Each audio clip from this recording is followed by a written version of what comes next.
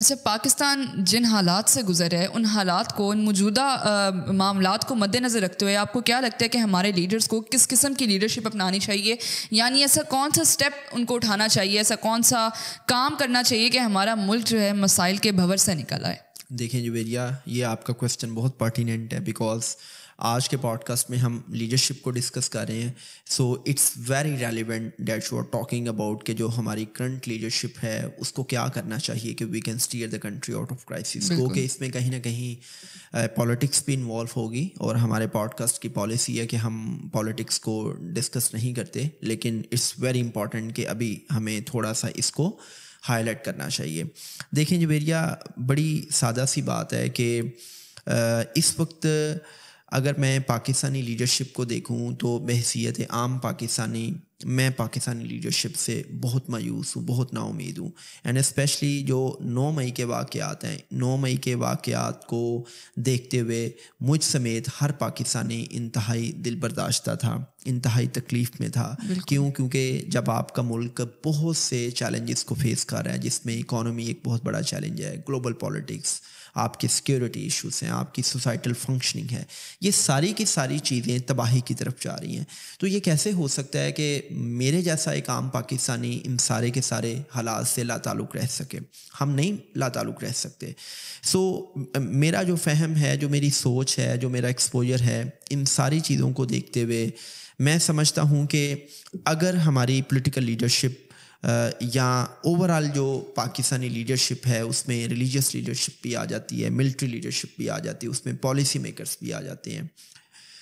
और उसके लिए एक टर्म यूज़ होती है इस्टेब्लिशमेंट तो अगर इस्टेब्लिशमेंट और हमारे पॉलिसी मेकर्स इन तीन चीज़ों पे कंसेंसिस बिल्ड कर लें तो हम इस मुल्क को मसाइल से निकाल सकते हैं। There are so many things need to be addressed लेकिन इन तीन चीज़ों पे अगर हम काम करें तो इन हम पाकिस्तान को एक अजीम मुल्क बना सकते हैं।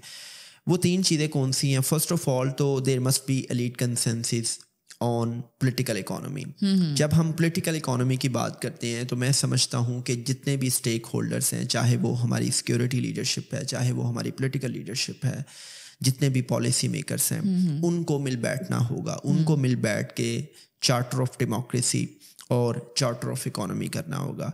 उनको एक दूसरे से हाथ मिलाना होगा। ये जो हम बात कर रहे थे ना कि अगर आपने लीडर बनना है तो आपको अपनी ईगो पे पाँव रखना है और अगला कदम लीडरशिप पे होगा। हम्म। तो इस वक्त ज़रूरत इस समर की है कि ये जो पॉलिटिकल लीडरशिप विंडिक्टिव पॉलिटिक्स की तरफ़ आई हुई है कि आप एक दूसरे के ऊपर लान तन कर रहे हैं एक दूसरे की करेक्टर एसेसिनेशन कर रहे हैं। और इस करेक्टर एसेसिनेशन में आप कौम की अखलाकियात को तबाह कर रहे हैं। इस सारे के सारे स्नैरियो में मैं सबसे हाथ जोड़ के ये रिक्वेस्ट करता हूँ कि फॉर गॉड से आप अपनी अना को आप अपने पर्सनल इंटरेस्ट को आप अपनी पॉलिटिक्स को एक साइड पे करें और आप रियासत बचाने के लिए रियासत की बका के लिए एक दूसरे से हाथ मिला लें चूँकि रियासत है तो सियासत है। अगर खुदा ना हादसा ये मुल्क टूटता है तो आप सियासत कहाँ पे करेंगे? फिर आप देखें कि आप इंडिया से बात करने के लिए तैयार हैं जि, जिनके साथ आपने जंगें लड़ी हैं। वो भाई आप आपस में बात करने के लिए तैयार नहीं मैं वही कहना चाह रही हूँ कि मैं, मैं हाँ, जवेरिया सियासतदानों से ये रिक्वेस्ट करता हूँ कि भाई आप एक दूसरे से हाथ मिला लें। आप एक कंसेंसिस बिल्ड कर लें आप कंसेंसिस ये बिल्ड कर लें कि भाई इलेक्शंस होंगे। ये पाँच साल आपके ये पाँच साल आपके और इन पाँच सालों के दौरान हम आपकी टांग नहीं खींचेंगे। हाँ जो अपोजिशन है वो करेंगे। लेकिन उस अपोजिशन का मतलब ये नहीं होगा कि हम आपकी हुकूमत गिराएँगे और मुल्क में पॉलिटिकल इंस्टेबिलिटी क्रिएट होगी। क्योंकि मेरी बात याद रखिएगा कि जो आपकी इकनॉमिक स्टेबिलिटी है जो आपकी इकनॉमिक ग्रोथ है उसका डायरेक्ट ताल्लुक मुल्क में पोलिटिकल स्टेबिलिटी मैं यही आपसे पूछने लगी थी ये जो लीडर्स आपस में एक दूसरे की करेक्टर असैसिनेशन करते हैं लेग पुलिंग करते हैं और अगर एक लीडर है तो उसको उसका उसकी ड्यूरेशन पूरी नहीं करने देती तो क्या ये लीडर को जेब देते है बिल्कुल नहीं ये हमारे तो ये तो हमारे नेशन पर नहीं इफ़ेक्ट कर रही है देखें चीज़। देखें जवेरिया जहाँ पे ये हमारी पॉलिटिकल इंस्टेबिलिटी इकोनॉमी को हिट करती है आप देखती हैं कि लास्ट वन ईयर से किस तरह हमारी इकोनॉमी डिक्लाइन की तरफ़ जा रही है और हम आईएमएफ से बेल आउट पैकेज के लिए किस तरह उनके सामने मिन्नत समाजत कर रहे हैं। और उसके साथ साथ आप देखें कि हम अपनी कौम को क्या अखलाकियात सिखा रहे हैं। कोई किसी को यूथिया कह रहा है कोई किसी को पटवारी कह रहा है हम्म। और इतनी पोलिटिकल अनरेस्ट है इतना अदम बर्दाश्त है कि आप किसी दूसरे की बात को बर्दाश्त करने के लिए तैयार नहीं है।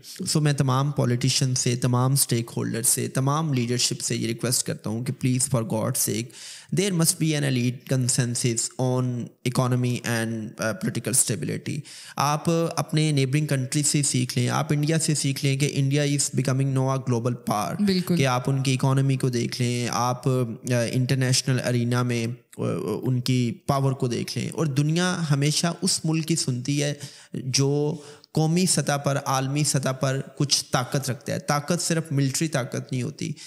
मॉडर्न वर्ल्ड में जो इकोनॉमी है, ये आपकी सबसे बड़ी ताकत है। आपकी जेब में पैसे हैं तो दुनिया में आपकी बात भी सुनी जाएगी। इसकी छोटी सी मिसाल ये है कि यूनाइटेड नेशंस में अगर आ, हम देखें इक्वालिटी को तो वोट का हक जो है वो दुनिया के हर मुल्क को मिलता है।